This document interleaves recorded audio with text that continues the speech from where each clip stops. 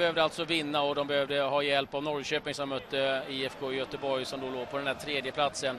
Men det var ett ganska trögt Helsingborg som eh, kom till Friends Arena och det blir inte bättre av när Robin Sjöasson får drömträff i den 36 minuten och gör eh, 2-0 för AIK. Per Hansson, målvakten, hinner inte reagera riktigt här. Lite otäck bollbana och eh, han får någon hand på det men kan inte förhindra bollen från att eh, smita in. Och så 2-0 ledning för AIK efter 30